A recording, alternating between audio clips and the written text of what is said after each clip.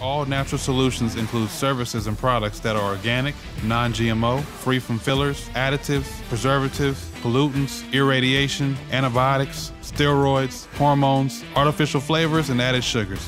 We at 3natural Bionutrition believe that if you don't update, you are out of date.